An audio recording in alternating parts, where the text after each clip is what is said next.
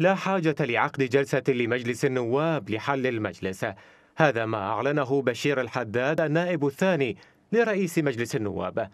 ويذكر أن مجلس النواب صوت في الحادي والثلاثين من مارس الماضي على حل نفسه وبالتالي لا حاجة لعقد جلسة لحل المجلس.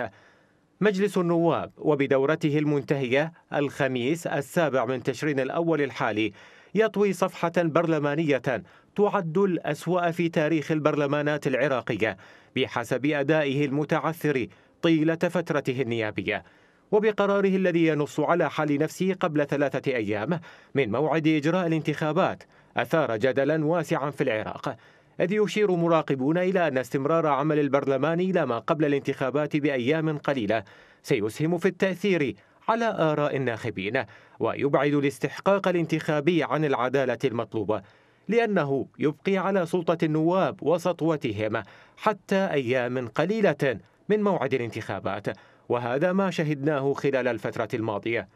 ويرى عدد من المختصين أن هناك دافعين رئيسيين يقفان خلف قرار حل البرلمان قبل ثلاثة أيام من موعد الانتخابات المبكرة يتمثل الأول بالمخاوف من إعطاء الحكومة متسعا من الوقت بغياب البرلمان.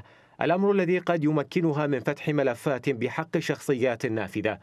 أما الدافع الآخر فيتلخص بمحاولة تلك القوى استغلال أدوات النفوذ التي يتيحها البرلمان لأطول فترة ممكنة ما قد يؤثر على خيارات الناخبين. غالبية القوى السياسية قلقة من تغيير خريطة النفوذ بعد كل التداعيات التي جرت خلال العامين الماضيين خصوصا ما جرى خلال انتفاضة تشرين مما جعل هذه القوى تبقي سلطة البرلمانيين إلى ما قبل الانتخابات بساعات لتضييق المساحات أمام محاولات تغيير الحرس القديم للعملية السياسية.